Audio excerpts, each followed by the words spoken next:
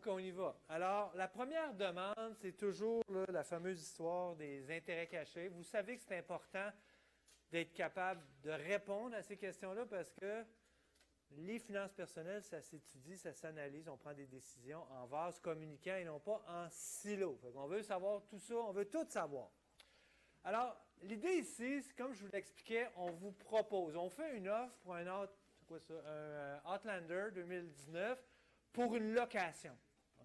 Donc, on vous donne toute l'information, vous dire tous les déboursés que vous allez devoir défrayer si vous louez pendant 60 mois, pendant 5 ans, pour rouler en Outlander. Tout est là. On vous donne l'information.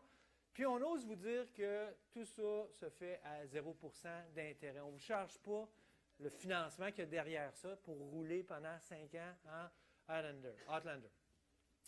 Mais moi, je viens rajouter une couche. Je viens vous dire, si jamais vous achetiez ce Outlander-là, vous auriez automatiquement du fabricant un remboursement, un escompte, une remise, un rabais de 5 000 OK? Vous comprenez que ce genre d'offre-là n'est pas inventé. Ça, ça lu, c'est hyper présent dans le domaine euh, des commerces, euh, du commerce automobile. Donc, L'idée, c'est que vous allez utiliser, c'est ça que j'essaie de vous enligner vers ça. Ce que vous allez faire, c'est que vous allez utiliser l'information de la location pour aller vous chercher un PDSF après taxe. C'est ça le but. Parce que je vous ai expliqué depuis le début, votre ami, là, quand vous négociez la détention d'un véhicule, pour vous, c'est de savoir, écoute, si je l'achetais demain matin cash, là, combien il me coûterait? Il faut vous faisiez commettre votre vendeur sur ça. Après ça, il est cuit. Après ça, il ne peut plus, là, pour le reste, là, vous jouer. Parce que vous savez calculer après. OK? Donc, on a toute l'information. Alors, voilà. Après ça, c'est une petite règle de trois, là, honnêtement. C'est des multiplications une règle de trois, mais il faut comprendre ce qu'on fait. OK, donc, ce que je fais, moi, dans un premier temps, je détermine tous les déboursés après taxe applicables, tout ce qui va sortir de mes poches pour rouler en Outlander 2019 pendant cinq ans. On a l'information. Dans l'offre, on avait cette information-là on avait 60 paiements de 429, OK? Ou 4,33 paiements, d'accord, par mois euh, à 99 Ça revient au même. D'accord? Il faut rajouter les taxes. Ces montants-là étaient sans taxes. Le 429 était sans taxes, donc je rajoute, c'est un véhicule neuf, 1,14975. Puis je rajoute le 2000, que c'est un acompte non remboursable que je, laisse. Je laisse d'accord? Donc ce montant-là, il n'y a pas de taxe là-dessus, c'est un 2000 que je rajoute. Donc, en déboursé, qu'est-ce qui va sortir de mes poches? C'est 31 595 pour rouler pendant 5 ans. Après ça, c'est une règle de 3. Réalisé. Là, c'est conceptuel après ça. Prenez la marche que vous voulez prendre, je m'en fous, OK? Donc, l'idée, c'est que moi, j'ai usé pendant 60% On est d'accord avec ça? Si je garde 5 ans un véhicule, je l'ai loué ou acheté, il y a 60% de désuétude qui est passé dessus, il y a une valeur résiduelle de 40% C'est avec le cycle de dépréciation que vous allez chercher cette information-là. Donc, si moi, je l'ai eu pendant 5 ans, je l'ai usé à 60% il faut que je paye à 60% Quel est le chiffre à 100% si je veux acheter? That's it. Quel est le chiffre à 100% Alors, je prends mon débours de 31 595. Ça, c'est pour 60% Je divise ce montant-là par 60% pour avoir le 100% C'est mon 52 658. Vous pourriez aussi dire, c'est 31 595 plus la valeur de rachat. La valeur de rachat serait 40% du PDSF. Donc, le rendu là, c'est des règles de trois. Prenez le chemin que vous voulez. Ça va pour cette compréhension-là? Après ça, là, on retombe sur tous les cas d'intérêt cachés qu'on a vu avec les SPA, puis toutes les histoires qu'on a vues. Là, ça revient à la même histoire. Tu as ton PDSF, si j'achète, après taxe, de 52 658. Est-ce que c'est ça mon coût? Non, ce n'est pas ça mon coût. Parce que si je le paye comptant, je vais payer 47 658. Donc, quand je regarde mon coût de financement, c'est dire, j'achète quelque chose, j'emprunte 47 658, ça vaut 47 658, mais si je ne l'achète pas comptant, je vais payer combien?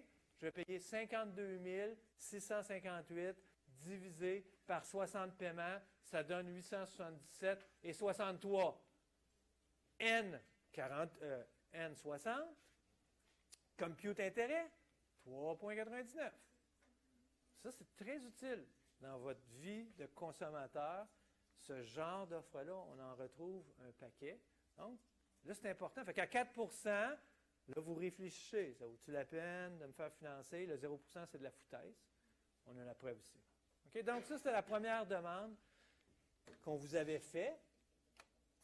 Là, ce qu'on va faire, c'est qu'on va aider Juste et Justine avec euh, les différentes options pour la détention d'un véhicule. Donc, il y avait comme trois options officiellement, mais la première option se déclinait en deux scénarios.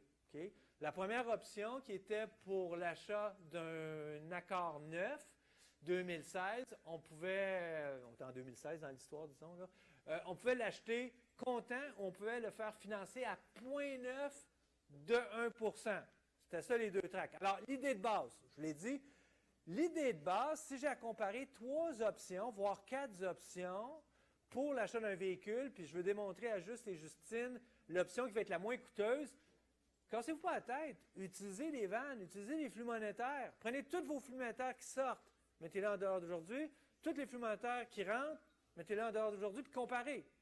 C'est la base, OK? Donc, c'est ce que j'ai fait. Alors, si on regarde pour l'achat de la Honda Accord 2016, le montant avant taxe était 26 495. Il y a un paquet de trucs qui se rajoutent. Dans mon exemple, on l'avait comme scindé. Il y avait le coût des options qui était à 2855. J'avais le coût de transport et préparation avant taxe. Je pense qu'ils n'ont plus le droit de, le scinder comme ça. Je pense que maintenant, il est dans le PDSF. Bref, 1275. Tout ça, c'était des montants avant taxe. Donc, je décline ça après taxe. Ça me donne un certain montant. Certain montant, je n'ai pas le total ici. Euh, J'ai-tu le chiffre du total? En tout cas, j'additionne ces trois montants-là, puis je fais une euh, valeur des paiements qui est de 747. Ça va donc la valeur de mes paiements si j'achète, puis je me fais financer sur 48 mois à 0,9 de 1% ça va faire des paiements de 747. Ce que je dois faire, ce 747-là, pendant, ça, ce chiffre-là, il va être identique. Hein? Pendant 48 mois, je vais avoir 747. Il n'y a pas l'affaire d'inflation pour pas d'inflation. Je vais avoir 747 être tout le temps le même paiement pendant 48 mois. Vous savez ça. On ramène tout ça en dehors d'aujourd'hui. Donc, je prends ma petite formule mathématique de valeur actualisée.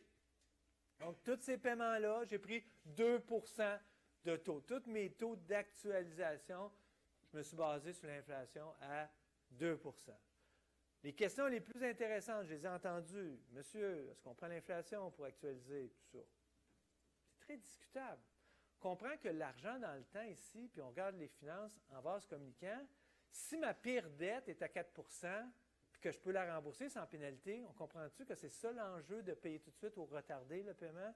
Si je ne paye pas tout de suite, ça me donne de l'argent disponible. Si ça me donne de l'argent disponible, je peux rembourser cette dette-là. Donc, mon jeu, il est à 4% ma game se joue à 4% pas à 2 L'un ou l'autre, c'est correct. C'est vous faire raisonner, vous faire comprendre, pas apprendre ça par cœur. Ah, c'est l'inflation.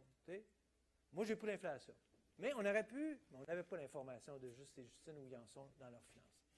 OK, donc, ça donne 34 437. Après ça, j'ai le coût mensuel de l'assurance, j'ai le coût d'entretien annuel, j'ai les pneus d'hiver.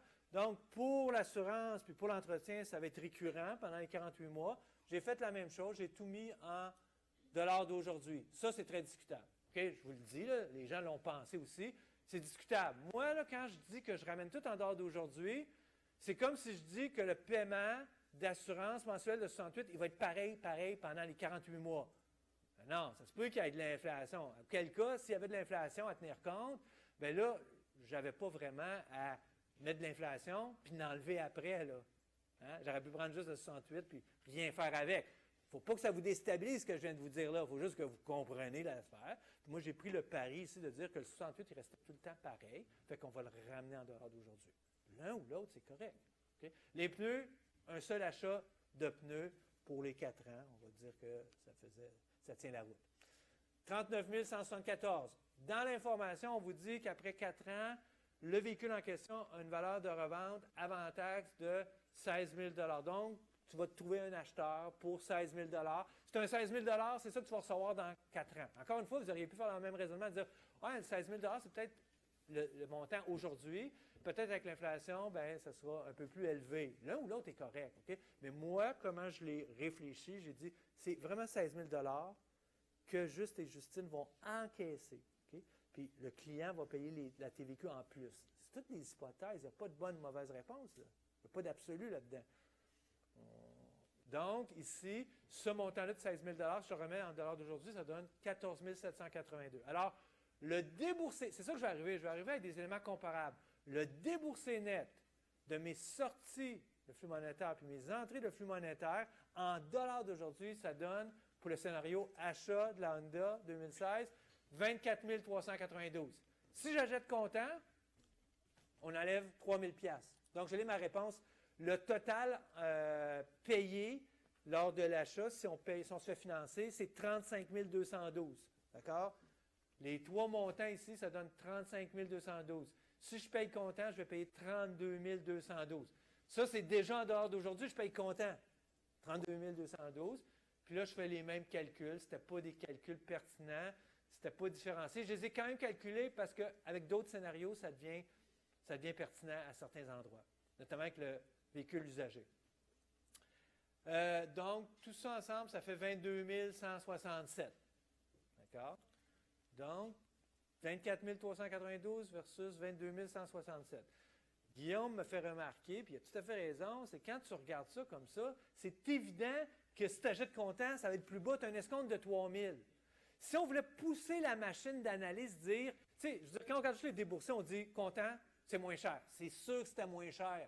C'était 3000 de moins à payer, puis ça, c'est non pertinent à l'analyse ici. Donc, la question encore plus pointue, c'est de dire, quel est mon vrai taux caché? Encore le maudit taux caché. Quel est le vrai taux caché de ces deux options-là? Si je paye comptant, j'ai un rabais de 3000. On comprend tout ce rabais-là, c'est des intérêts cachés, ça va? Donc, quel est le vrai taux? Puis là, je le calcule, disons, je sais pas quoi, disons 2.2. La question, tu te dis, si mon financement réel est 2.2, est-ce que, avec l'argent que j'aurais disponible de plus, parce que je me fais financer plutôt que l'acheter comptant, est-ce que je pourrais faire plus que 2.2 dans mes réels, CELI, etc.? Ça, c'est dès le cours 1 qu'on a parlé de même, puis on continue à parler de même. Ça, c'est plus poussé. Je ne l'ai même pas dans la solution, ce que je viens de vous dire. Ça va? OK. Option 2, une fois que vous avez compris l'histoire, c'est tout le temps euh, la même mécanique. Alors, dans l'option 2, c'est l'allocation d'un achat quart. On a un paiement initial, 2500, qu'on doit euh, indiquer.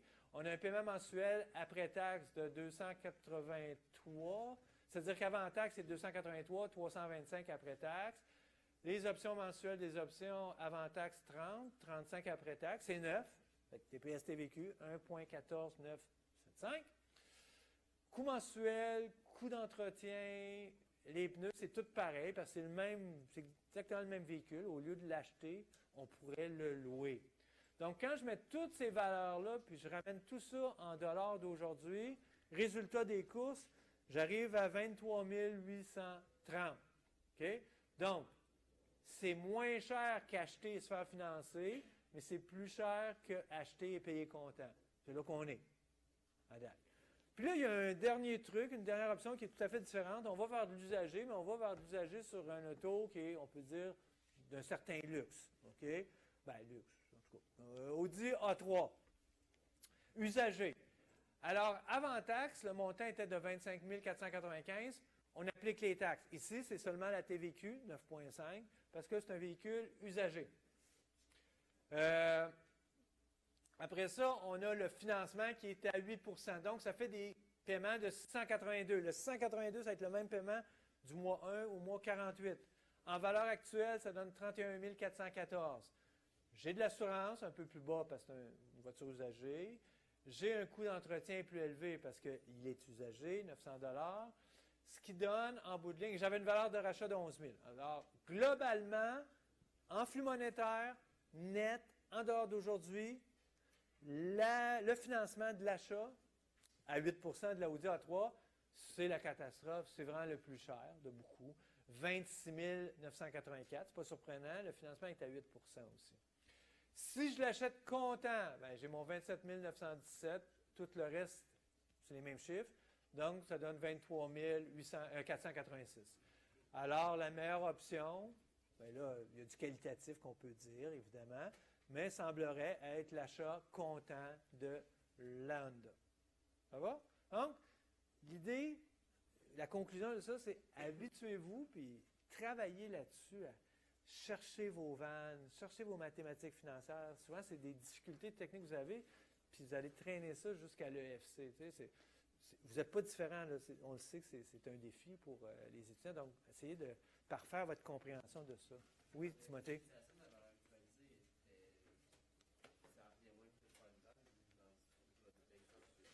Ça revient au même, tu dis? Non, parce que c'est pas tout au même rythme. Il y en a que, quand on loue, l'option que je loue, j'ai pas de valeur de revente dans 48 mois.